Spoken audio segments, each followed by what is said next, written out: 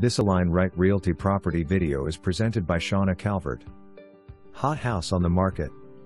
Solar home with lovely upgrades and an open layout. You will feel the openness when you walk in. Take a moment to take in the personal touches that have showcased with this home's timeless simplicity. Bright and open great room creates a wonderful space for living and entertaining. Upgraded kitchen with stainless steel appliances, stone counters, plenty of cabinet space, pantry and large sunny eating area. Master suite is spacious with walk-in closet and roomy bath. Secondary bedrooms are nicely sized too. Enjoy the yard and plenty of room for all your outdoor summer activities. Solar home is savings for you.